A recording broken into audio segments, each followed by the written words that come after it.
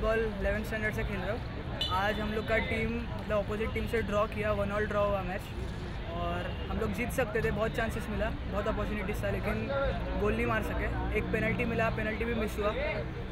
लेकिन next match हम लोग और ट्राई करेंगे जीतने के लिए। और नेक्स्ट मैच मैच श्योरली जीतेंगे।